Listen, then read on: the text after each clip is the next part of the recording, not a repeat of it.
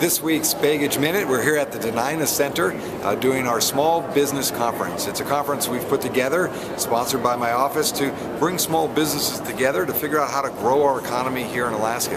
A great attendance, over 200 small businesses from all industries are here to learn how to get access to capital, how to use the Small Business Administration, how to make sure they can meet other businesses that have maybe struggled through some of the challenges and what they did to start their business and learn from them.